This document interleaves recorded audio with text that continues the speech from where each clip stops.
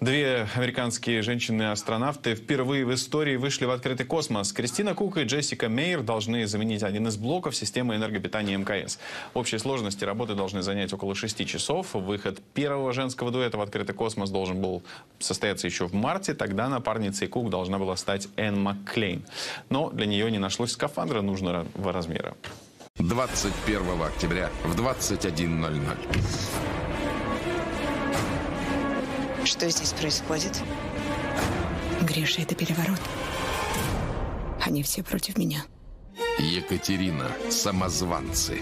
Большая премьера на канале «Россия».